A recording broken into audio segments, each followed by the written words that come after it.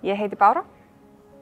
Ég stýri verkefnum og verkefnastofnum hér í Marel og ég frumkvöðl og keir af stað alls konar nýsköpunarhugmyndir. MPM námið nýtist mér mjög beint í mínu starfi. Ég stýri alþjóðlegum verkefnastofni sem er að breyta heilli aðfangakeðju út um allan heim. Þarna þarf ég að nota sambland af þessum hörðu skills og mjúku hæfileikum sem eru þráaðir í náminu og ég nota það mjög mikið í mínu starfi á hverjum degi.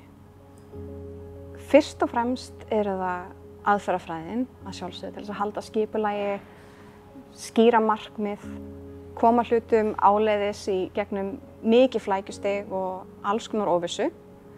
En námið kennir manni líka að hlusta, að leiða annað fólk, þróa hæfileika annars fólks og horfa sjálfan sig, hlusta sjálfan sig, finna sín mörg því að verkefni eru krefjandi og þá þarf maður að hafa kjarnar sem maður getur treyst á.